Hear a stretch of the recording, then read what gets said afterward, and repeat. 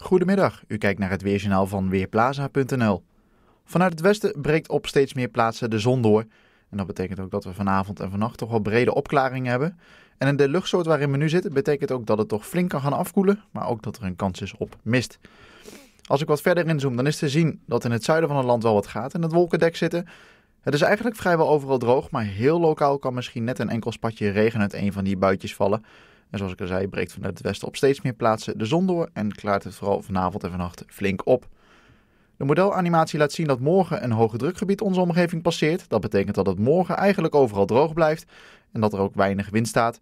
In het weekend dan trekt het hoge drukgebied weg, maar een heel groot hoge drukgebied boven de Atlantische Oceaan begint dan haar invloed uit te oefenen op ons weer. En dat betekent, omdat de hoge drukgebieden in de buurt blijven, dat de actieve storingen ver van ons verwijderd blijven en dat het eigenlijk overwegend droog is. Straks zonnig wordt het zeker niet. Maar zo nat als de afgelopen dagen, dat wordt het ook in elk geval niet. Eventjes terug naar vanavond. Vanavond zijn er dan brede opklaringen, met name in de westelijke provincies. Die opklaringen die schuiven dan steeds verder op naar het oosten. De temperatuur zal in de opklaringen toch wel snel gaan dalen naar een graad of 2, 3 aan het eind van de avond. Maar in het begin van de avond, wanneer de meeste mensen nog op de fiets uh, of uh, buiten zijn, ligt de temperatuur tussen 6 en 9 graden. De hoogste temperaturen onder de bewolking in Limburg. Vannacht dan een frisse nacht met lokaal en vooral landinwaarts kans op een vorst aan de grond en ook vorst op neushoogte. Misschien 0 lokaal, misschien min 1 graden op de koudste plaatsen. Daarbij is de kans groot dat er op een grote schaal mist of nevel gaat ontstaan, waarmee dan het verkeer met name morgen vroeg toch wel enige last kan hebben. Aan zee blijft de temperatuur wat hoger, pal aan zee een graad of 3.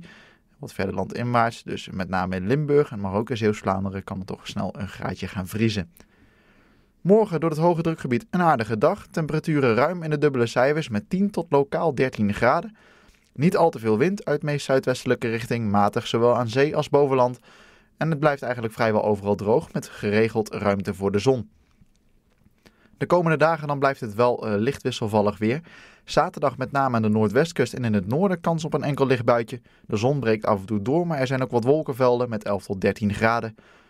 In de nacht van zaterdag naar zondag dan passeert er een zwakke storing. Misschien dat er dan wat lichte neerslag op grote schaal valt. Maar zondag overdag dan lijkt het eigenlijk op de meeste plaatsen alweer droog te zijn. Opnieuw 10 tot 13 graden. En ook maandag blijft het rustig weer. Wolkenvelden, af en toe wat zon en een kleine kans op een enkele bui. En opnieuw zo'n 10 tot 13 graden.